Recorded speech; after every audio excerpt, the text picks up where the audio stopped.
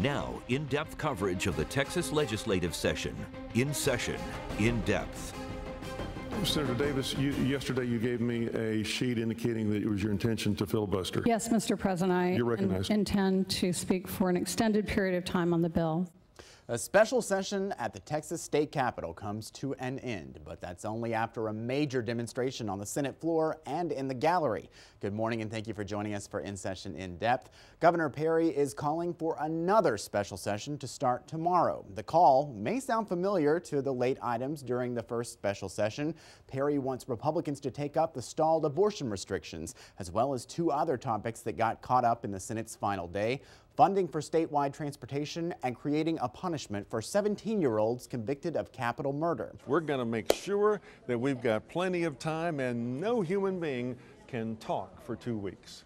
So this bill is going to pass. I would be shocked, actually, if they put this on the last day of the calendar again. This was a, a mismanagement of the calendar, honestly, by Republican leadership that gave us this opportunity. The recent abortion debate, a hot topic this week at the National Right to Life Convention in Dallas. Governor Perry was the keynote speaker, and he did not hold back. In fact, even the woman who filibustered the Senate the other day was born into difficult circumstances. It's just unfortunate that she hasn't learned from her own example.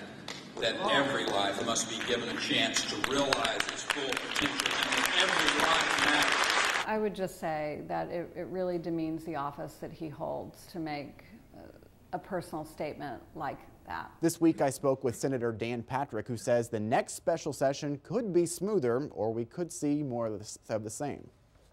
But we should knock this out in 10 days or two weeks. We shouldn't have to be there 30 days.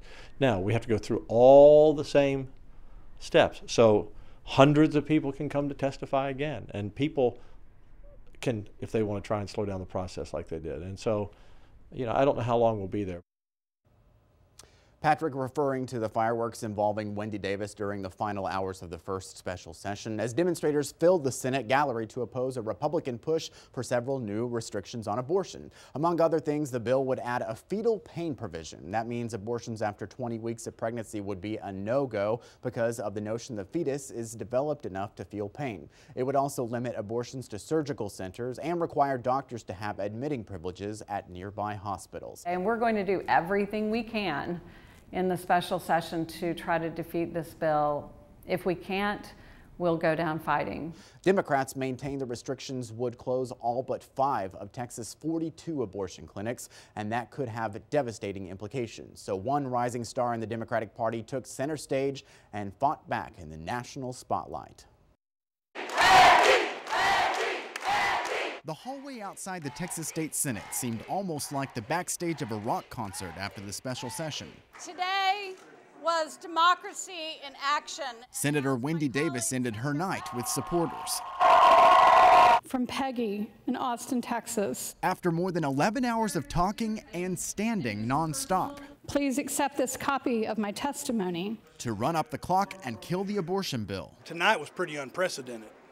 Uh, tonight, in many ways, was historical. Certainly one to watch. Republicans cut Davis' filibuster short, just shy of midnight, the deadline they needed to meet for a vote.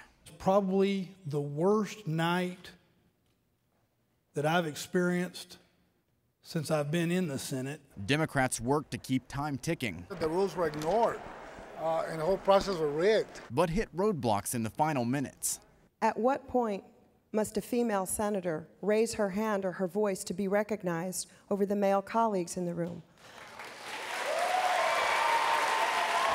The thousands of Davis supporters took over. Troopers had to force several out of the chamber. You missed a hell of a show. well, they did everything they could, including, you know, getting the crowd to chant.